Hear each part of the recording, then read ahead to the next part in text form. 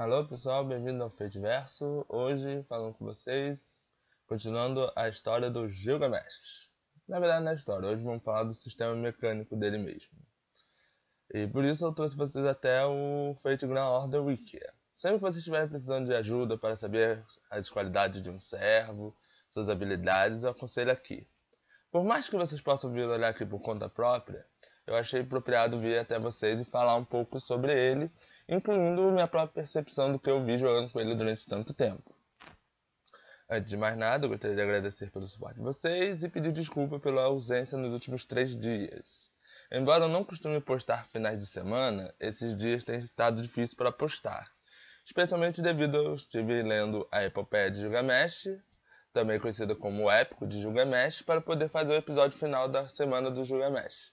Isso acabou atrasando um pouco os vídeos. Mas não se preocupe, essa semana deve terminar e também também para dar a notícia da chegada de Oceanos, que deve ser em breve. Esperar para ver. Hoje vamos falar do Gilgamesh antes que ele atire espadas em mim.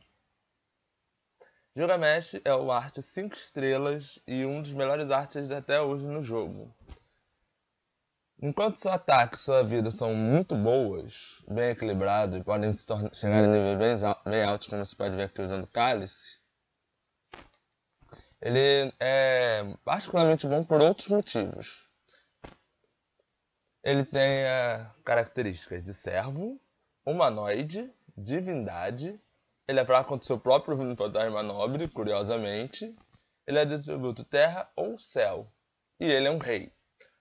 Mas que atributos são esses? São atributos que em alguns casos são relevantes. Ser fraco contra Enuma Elix significa que o fantasma nobre de Gilgamesh causa dano extra nele. Ser do divindade significa que alguns servos causam mais dano nele, que tem a habilidade para caçar divindades. E ser rei, bem, isso é algo que saiu bem recentemente, por causa de uma outra serva chamada Sherazade. Mas não vamos entrar em detalhes agora. Sua linha de crescimento é um S reverso. Isso significa que a pontuação dele varia um pouco quando ele vai crescendo. Existem várias formas de crescimento, mas isso não significa muita coisa. Agora eu vou falar realmente porque o Gilgamesh é um excelente servo. Sua ordem de ataque. Um kick, dois azuis, artes, e dois vermelhos, busters. Bem, isso por si só não é exatamente bom. Isso é quase o padrão de todo o Saber e da maioria dos artes. Porém, isso é bom porque ele. O bom dele é que todos os três tipos de ataque dele têm 5 hits.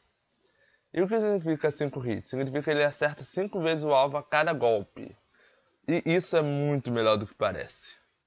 Atingir um alvo múltiplas vezes significa mais dano, mais fantasma nobre e mais estrelas de crítico. Gilgamesh, por ter todos os seus ataques em 5, consegue gerar mais estrelas de críticos mais fantasma nobre e causar mais dano do que a maioria dos servos. Seu ataque extra causa 8 hits, o que é ainda melhor. E acredite, por mais que eu diga que o fantasma nobre dele no charge é de 0.34, com a ajuda de, das skills dele ele consegue encher o fantasma nobre dele muito rapidamente. Mas, vamos prosseguir. Porque hoje a gente tá tenso. A primeira skill do Gilgamesh é carisma a mais. Com carisma a mais, ele tem já no level 1 um aumento do ataque do time para 10,5% e no, no final fica com 21% durante 3 turnos. Isso torna ele um bom líder. Além disso, quando chega no level máximo, o tempo para você reutilizar o carisma é de 5 turnos, ou seja, você vai ficar apenas 2 turnos sem, é, sem o bônus do carisma, depois de ativá-lo. A segunda skill dele é o Golden Rules, a liberada assim que você faz a primeira ascensão dele. Isso aumenta a, é, a velocidade que ele enche o fantasma nobre. 20% no nível 1 e 50% no nível 10, com um delay de, de 6 turnos para reativá-lo quando ele chega no level máximo. O que vai, ou seja, 3 turnos sem o Golden Rules ativo. Se você não gosta muito do Golden Rules, pense dessa forma. O Gilgamesh já enche o fantasma nobre dele muito rapidamente. Com um Golden Rules ativo e um Shine azul, que já dá 20%, ele provavelmente será capaz de encher o fantasma nobre dele entre 2 a 3 turnos no máximo. Isso atacando pouco. A terceira skill, liberada apenas quando você faz a terceira ascensão, é o coletor Rank X, que aumenta a absorção de estrela de crítico dele. As estrelas de crítico são o que permite você dar dano crítico no oponente. Quanto mais você absorve, maior a chance de você acertar o crítico. Gilgamesh vai de 300 a 600. Parece muito, mas às vezes acredito, não é nem o bastante. Porém, essa skill ficou meio fraca ao longo do tempo e o Gilgamesh mais tarde vai ganhar um, uma, um interlúdio de fortalecimento, que vai passar o coletor para Tesouraria of Babylon, Ank X. Assim como foi dito lá, ele é uma é, no, na história de Gilgamesh, ele é um, uma versão aprimorada do Collector. Ele mantém a habilidade de absorver esteja crítico e da charge de fantasma nobre. Diferente do Golden Rules, que aumenta sua, sua carga por golpe, esse daqui aumenta efetivamente a porcentagem do seu fantasma nobre, começando em 20% e terminando em 30%. E com um delay de 5 turnos quando você maximiza ele, como podem ver aqui. Ou seja, você pode ativar essa skill entre 5 turnos depois de ativá-la. Entre suas passivas, são três. Ação independente A+, que aumenta o dano crítico do julgamento em 11%, o que é muito bom para alguém que já absorve o stage crítico, como skill resistência debuff de 10%, porque a resistência média dele é E. E Divindade B, que aumenta o dano padrão dele, indiferente do alvo, em 175. Muito útil para alguns inimigos com uma alta defesa. Fantasma Nobre, ele começa com A++. É o Fantasma Nobre vermelho, que causa dano em todos os inimigos, e que, para cada overcharge, ele aumenta o dano contra, contra servos aqui embaixo. Isso aqui é o dano padrão dele. O Enomelix é, causa dano extra em todos os servos que são daqueles com atributo estrela. Se você não sabe o que é atributo estrela, mais tarde você, é, eu posso fazer um vídeo a respeito disso. Enquanto atributo estrela pode variar alguns servos, como Belivia, Leonardo da Vinci, Scatia, Scatia de Praia e Jeanne d'Arc, nem, é, a maioria deles realmente não causa dano extra, mas isso significa pouca coisa. A maioria dos servos do jogo vão sofrer dano extra do Gilgamesh. E isso já é o bastante para o fantasma dele causar mais dano do que a maioria dos outros servos de dano de área. No entanto, contra inimigos normais e monstros, o Numelix não causa tanto dano assim a princípio. Claro, você pode dar level up no Fantasma 9 Gilgamesh, dando outro Gilgamesh para o Gilgamesh comer, o que não é uma coisa muito fácil de ocorrer, ou com Overcharge. Overcharge, se você ainda não sabe, é basicamente você encher a barra do fantasma nobre além dos 100%. Novamente, para você poder encher a, a, a, barra de fantasma nobre a mais de 100%, você precisa ter o fantasma nobre do Gilgamesh aumentado. Porém, existe uma segunda maneira de resolver esse problema.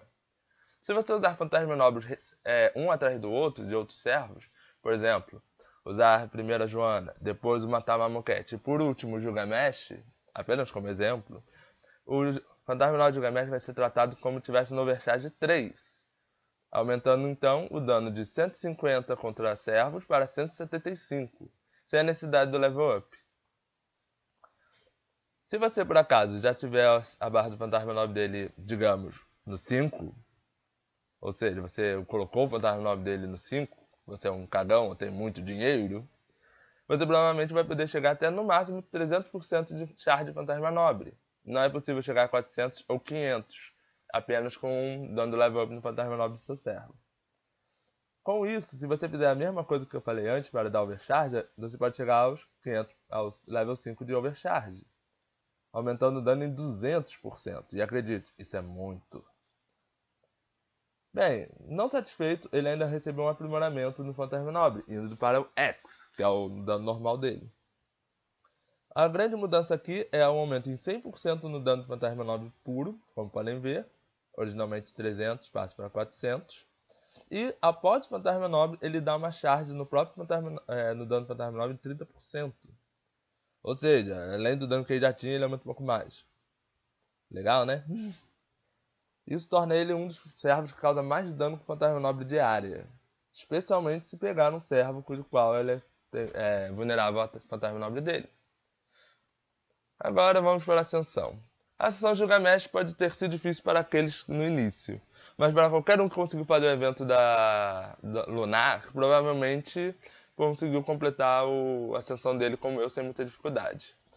Pedindo 17 estátuas de prata de artes e 17 douradas, o evento mais do que facilmente pode preencher isso, caso você tenha concluído ele, é claro. Olhos de Górgona também estiveram no evento, e fora dele vai ser um pouco difícil encontrar lâminas capazes de dropar isso fácil.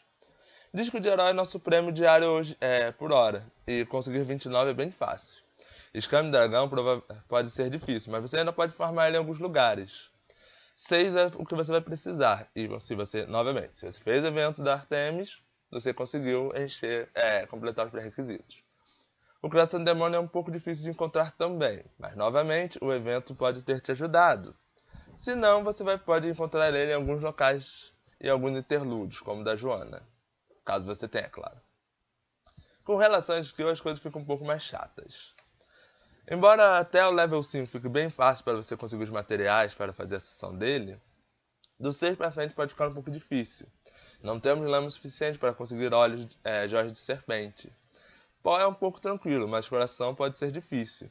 30 para poder botar no 9 todas as 3 skills do Gilgamesh é difícil. E por fim, o, o cristal do conto. Que, bem, você vai sempre conseguir ele num evento ou outro. Aqui temos os parâmetros dele para nós, mas isso efetivamente não faz diferença nenhuma na nossa vida. Eu não estou zoando. Quando você atingir o level 10 de bom de level com Gilgamesh, caso vocês queiram ver, aqui tem o custo para você chegar no level 10 de, de bom de level. Eis aqui o que você vai. É, a sua recompensa quando chegar no 10, além dos 3 quartos para cada bom de level que você passar do 5. Que é a chave da regra do rei. Ou The Key of the King Laws. Quando essa série é equipada no Gilgamesh, ela aumenta o dano do fantasma em 30% e tem 30% de chance de aumentar o dano crítico por 10% quando ataca o inimigo durante 3 turnos. Eu não sei realmente como isso funciona nessa segunda parte, mas tudo bem. O 30% de dano no fantasma, no, é, no fantasma nobre é realmente cavalar quando você lembra que ele já tem um 30% extra. Por, pra, mais para baixo tem algumas características menores sobre o Gilgamesh, relacionado a bond level, etc. Porém, vamos terminar agora com algumas informações da minha experiência com ele no jogo. Gilgamesh é um bom líder, ele enche fantasma nobre e, por mais que ele não ofereça muito mais do que um carisma para os seus aliados, por fato dele ter muito alto e conseguir gerar sozinho muito estrela de crítico, e acredite, ele gera, mesmo que só para ele mesmo, ele consegue ainda assim dar uma boa mão pro time. Causar dano em área tão alto, especialmente contra servos, é uma mão na roda nos eventos que virão pela frente, especialmente os festivais da Nero, onde vocês já devem ter notado que de vez em quando aparece bastante servo. Para os veteranos, sabe que o julgamento é, é essencial em algumas lutas contra o evento da Nero, pois múltiplos servos podem aparecer.